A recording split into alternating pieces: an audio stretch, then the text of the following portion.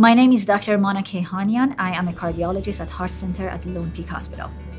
In my opinion, cardiology is the most innovative, rewarding, and progressive branch of medicine. You get the chance to save lives, change people's lives, and that's what makes it unique.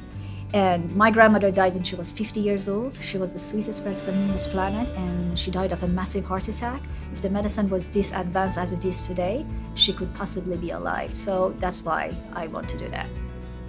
I would say the most common uh, heart condition that we see in our patients are coronary artery disease, which is blockages of the heart arteries, also congestive heart failure, as well as abnormal rhythm of the heart, such as atrial fibrillation, also different valve disease, stenosis and regurgitation, which is tightness and leakage of the heart valves.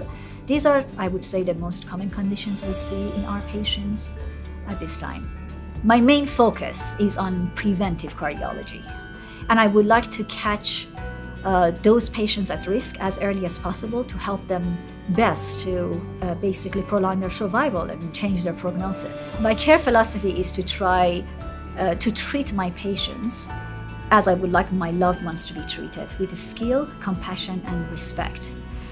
I try my best to spend as much time as possible with each individuals to listen to them, to try to figure out what's going on with them, and together we'll try to make the best decision what will be the best strategies, what uh, kind of testing they need, what kind of illness they are having, and explain to them, educate them about their illness so we can find the best treatment options available to them coming to a cardiology clinic oftentimes is a stressful event. If you are uncomfortable, if you're having some symptoms, my job as a physician is not just to treat them their medical pain, to treat them as a whole being, to make sure that they understand their illness and to ease their anxiety and to help them in any way that I can. And that's, I would say, my best philosophy.